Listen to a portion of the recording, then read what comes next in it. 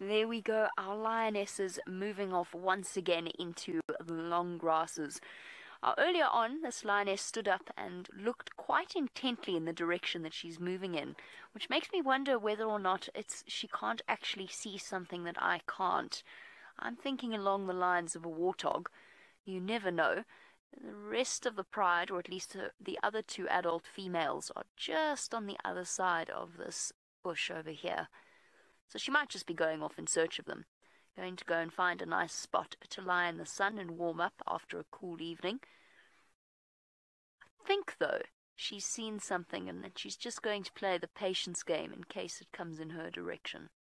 Well, awesome, fantastic view of our lionesses.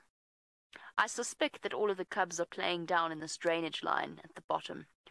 Right, well, what else can we see? There's a herd of elephants off in the distance. I think we'll make our way towards them in a little bit.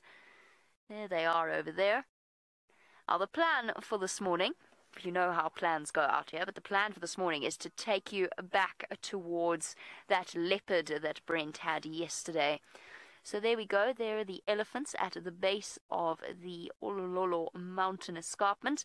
And then at the top of that sits the fantastic Angama Lodge. Angama is sitting up at the top, right next to our camp. They, of course, have been really truly instrumental in setting us up on this side of Africa. And just have a look there.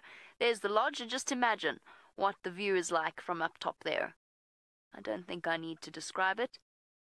I think you can imagine it. The open plains. Imagine watching sunrise from your room at the top of this mountain.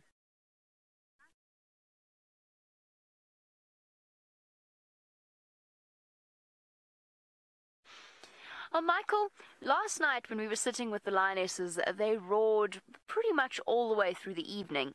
And you were wondering if the lions of the Mara roar more frequently than the lions in the sands. I don't think I'd say that, no. Look, I mean, it depends. It's circumstantial when lionesses roar. We haven't heard the Nkuhumas roar, or at least we hadn't when I left, roar all that frequently because I think that they were feeling a little bit unsettled for whatever reason, whether it was to do with the area they were in or something happening with other prides, but they were quite quiet. But a year before that, the Nkuhumas were roaring all the time. And the lion prides that we've seen here do seem to roar pretty much every half an hour or so at certain times of the evening, but I wouldn't necessarily say that it's more frequent. I have noticed, well, I mean, there is this the possibility that because there's a higher concentration of lions, they might be more inclined to be very defensive of their territory. But it's hard to say, and I don't think we've been here for long enough to really make a comparison because it's so circumstantial and so dependent upon where exactly you happen to be and what exactly happens to be happening with the lions around you. And there's two people coming to see, or two vehicles coming to see the lions. They're going to be sorely disappointed because I'm going to have to just quickly chat to them and let them know they're gone. Now, Nina, you would like to know how do lions stalk such fast antelope? The answer to that lies in the long grass. They've got plenty of cover in order to creep up on an antelope, so they can sneak their way through and use that amazing camouflage, and in fact become far more reliant on that golden color of theirs to hide them in the grasses. Habari? Swear that, but they've below the bush.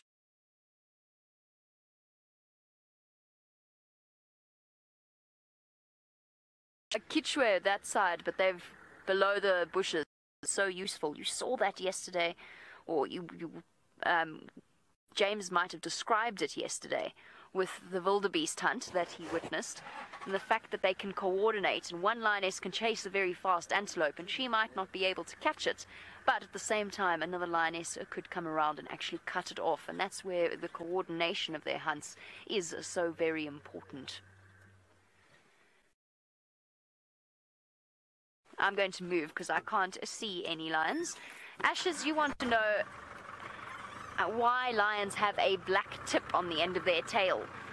Well, there we go. That that sort of ties in nicely with what we were talking about in terms of their coordinated hunting.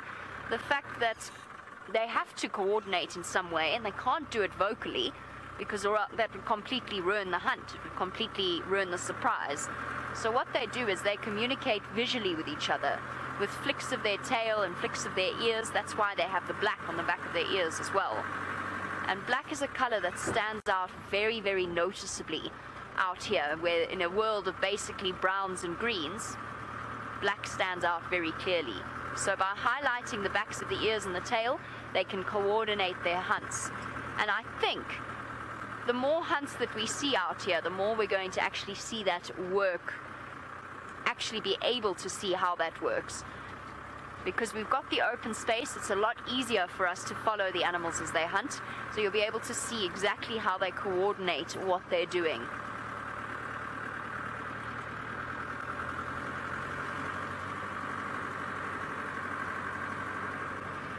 And I suspect that that's it for the lions for today. You never know though out here. It doesn't get too hot, so the the lions are always active. Right, I'm going to go off in a search of some elephants and a leopard. While we do that, let's go across to Byron. It seems as though it's zebra day on Djuma.